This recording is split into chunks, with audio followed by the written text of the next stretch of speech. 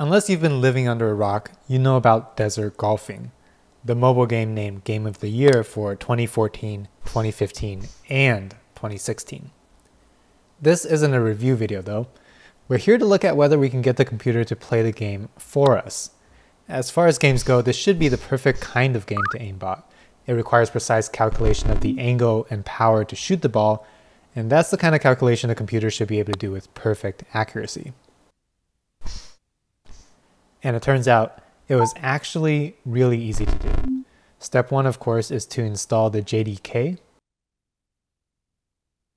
Step two is to install Eclipse. There may be some irony in downloading more than 400 megabytes of software in order to cheat on a 2 megabyte game, but my enterprise architect assures me that this is perfectly normal. If you don't know Java, don't worry, neither do I. But with Eclipse, even a monkey can make something that compiles using this handy dandy Java wizard. Anyways, the key to all this is java.awt.robot.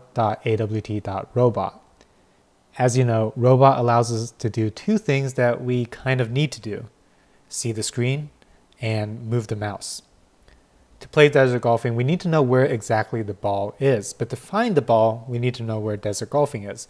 So first step is to find desert golfing. We can do that pretty easily by looking for the exact pixel color of the sky. To speed things up, we don't search every pixel. And once we've found desert golfing, we just need to look for the white color of the ball and the weird yellow color of the flag. We don't really care where the ball is on the screen, only where it is in relation to the flag. With those two pieces of information, we can calculate how much power we need when hitting the ball for a given angle. Our target is the right side of the hole, and the idea is to bounce the ball off the right side of the hole. If we aim for the middle of the hole, we might get into situations where that trajectory is blocked by something. That's not hard to do, we just subtract some numbers from the coordinates of the flag. What is hard to do, however, is figuring out the laws of physics in the desert golfing universe. If you remember from middle school, the gravitational constant is 9.8 meters per second squared. Well, I tried holding up a meter stick to my computer screen and realized that it was going to be impossible to measure. The good news though is that since desert golfing always runs at 720p, the game window is always 1280 by 720 pixels. If I launch the ball several times and measure the pixel distance, I should be able to calculate the gravitational constant as well as how much I need to drag the mouse for a specific speed. Instead of meters, we're using pixels, and instead of seconds, we're using frames, assuming we're recording at 24 frames per second. My measurement process went like this. Step one, record some video of test shots. Step two, measure the x component of exactly how far I dragged my mouse. Step three, measure the x component of how fast the ball moved. Step four, record this in a spreadsheet. Step five, repeat several times. Finally, step six, do the math and average the data to figure out if the ratio of pixels dragged to the ball's initial velocity. This comes out to about 11.9 pixels per pixels per frame. Remember that we are measuring speed in pixels per frame. If we cancel out the units, we get 11.9 frames as our ratio. Now that we know how to launch the ball at an exact speed, we can move on to measuring the second important piece of information, the gravitational constant. If we launch the ball straight up, we know that all of that energy is only going into the vertical component. Then, if we can measure exactly how high the ball goes, we can calculate the gravitational constant. After some spreadsheet magic, we figure out that the gravitational constant is something like 0.43 something pixels per frame squared. Now, have you ever seen frames squared? Because TVs always seem to have rectangular frames, don't they? And while I'm at it, I rewrite some of the code for finding things by color. Doing a fast search by skipping pixels is fine, as long as I also do a second pass to find the exact pixel I'm looking for. The next key component is to make the robot actually shoot the ball. pretty straightforward, right? Given the angle and the speed, we just need to move the mouse cursor to the right place, which is just some simple trig. We tell the robot to move the mouse to the middle of the game window, push down button 1, then move the mouse to how far we want to drag it, then release the button. Super straightforward, except that for some reason the game doesn't always recognize when we push down the mouse button. As a hacky workaround, right after the first mouse down, I just wait a split second and issue another mouse down. This actually seems to have fixed the problem for the most part. And now we have all the major parts except, except how do we know how hard to hit the ball and at what angle? Well, to figure that out, we just need some mathematics. Mathematical! Finn, you're terrible at math. Ah. Ah, right. I'm terrible at math. Time to find someone with an engineering degree. Right. Is this this is a coast, right? Fuck, I can't believe I don't remember this. What, the horizontal component or the vertical component? The horizontal the horizontal component. The horizontal component is sine, right?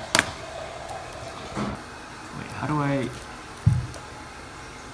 Oh, yeah, you're right. Yeah, yeah, yeah. Horizontal component is sine. Or cos, cos, cos. Right. So vertical component is sine. um, and then your x is. Uh, no, Um, that's wrong. Your because you have to account for acceleration here. Ah, how do you Wait, the x, the x has no acceleration. The y. oh, sorry. is- This should be this should be x. I don't know why I wrote y. Yeah. So I don't know how to do y anymore. y equals, how do you do acceleration? Distance, acceleration formula. It's gonna be vyt plus 1 half at squared. Yeah, so this is your basically two equations. Um, and you know x, you know y, um, so your variables are angles your input. Um, okay, we have two equations, and how many variables do we have? Oh, you're just gonna fix saying. it. Oh, like once you fix it, there's only one solution. Right. Oh, so just v and t. And we don't care about t. Well, you're right. I'm just saying you have enough to, you have enough to solve for v. Uh, and then you do some math to solve for this, I guess. Based on what I learned, I started off my equations for the x position and y position of the ball as a function of time and phi, the angle that I'm aiming at, and I can combine them to solve for v. I ended up with v equals the square root of ax squared over 2 times the quantity of y minus tangent phi x times cosine squared of phi.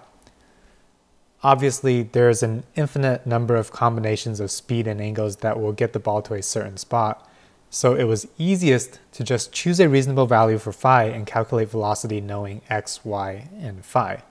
When I first saw this equation, I was like, no way this is correct. It doesn't even make sense. Why do we have tangent and cosine squared all in the denominator? But I type it all in, and bam, it actually works. It's a little incredible to think about how we launched people into space on what was basically a big, giant assumption of, yeah, I think the math is correct. Desert golfing is not quite rocket science, but I think I'm one step away from that physics PhD now. Anyways, after testing the aimbot, it's able to get a lot of really good shots. It does miss some. It seems to have problems when the elevation differs a lot, and there were quite a few shots where the ball went in the hole and then bounced out. And of course, it's not a full AI. It's not able to strategize about holes where it can't get a hole in one. But that's not a failure. After all, I set out to create an aimbot, not a fully automated desert golfer. But for a future project, maybe we can figure out how to make this more intelligent. Maybe we can have it read the landscape and bounce the ball off hazards into the hole. Maybe we can fully automate it, see how far it gets. But after playing more than a thousand holes of desert golfing, I'm ready to call this done for now. Thanks for watching.